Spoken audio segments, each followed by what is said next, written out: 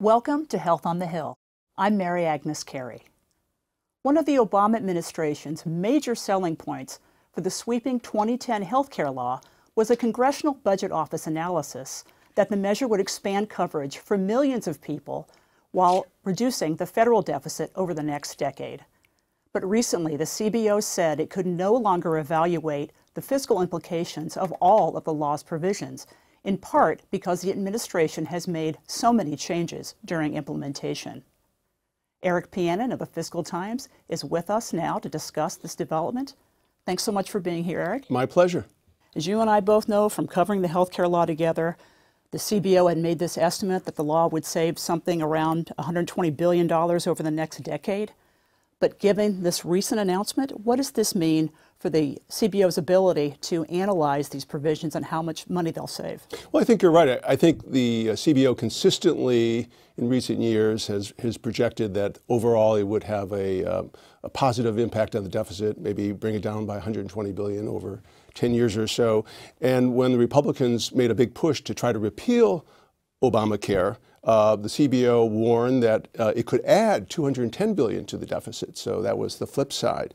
Um, but very interestingly, in April, uh, very quietly, in a footnote to uh, a very complicated report, the uh, CBO signaled for the first time that while it could point to areas or programs within the Affordable Care Act that would bring down the deficit long term, they couldn't make a blanket assertion that the law, taken together with all of its component parts, would have that impact. They backed away. In a sense, they backed down from that, that earlier projection.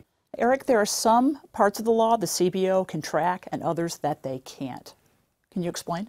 Well, I think that's right. I mean, in terms of the uh, uh, insurance coverage and subsidy program to help uh, poor people um, obtain insurance, um, the CBO can track that and has a pretty good handle on its long-term budgetary impact. For other programs, like, uh, for example, uh, the employer mandate uh, and a series of other uh, uh, policy initiatives and, and, and, segments of the program that have been temporarily put on hold or delayed, um, it's much harder for them to track that. You've been a budget reporter for a long time. Have you ever seen the CBO do this before, come out and basically say, we just can't score some elements. You know, I, I can't recall anything quite like this. And I am kind of surprised by the way they did it so quietly, you know, in terms of a footnote. It wasn't like, you know, uh, a little announcement or maybe uh, a separate box in one of their complicated reports say, oh, by the way, um, we can't do this anymore. It was just something that they, in a sense, slipped in. My guess feeling that experts who are following this issue very closely, they would immediately pick up on it. But for the rest of us who don't follow it, you know, in an incremental stage, it was kind of a surprise. You mentioned politics a minute ago. What are the political ramifications of this? Well, I think that um, from the uh, Republican standpoint, this is just one more example of, of how, of switch and bait, uh, in which the administration promised one thing and is delivering something else.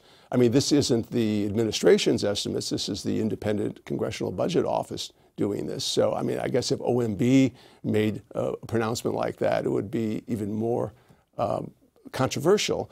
But um, I, I, I sense that this will be just like one more argument by the Republicans that this is a terribly flawed program that needs to be changed or um, done away with, according to some. Do you think it will be an issue in the midterms or the presidential, or is it simply wouldn't get that kind of legs? It's not clear. I mean, I, I, think that in, in maybe in some races, in some venues, it might be brought up as, as another example. And I don't think we've heard the last of it. I'm, I'm sure members of Congress are bombarding you know, Doug Elmendorf, the head of the CBO, with letters demanding explanations. So my guess is we're going to be hearing more about this uh, at least on the Hill or in a, in a budget context. But um, it, it's certainly something that I'm sure the administration is, is, is worried about because it, it was a, a great arguing uh, point for the Affordable Care Act. Maybe this program wasn't working, maybe we had a terrible rollout, But in the end, 10 years from now, this is going to be a good thing for the budget. All right, thanks so much. Eric Pianin, of the Fiscal Times. My pleasure.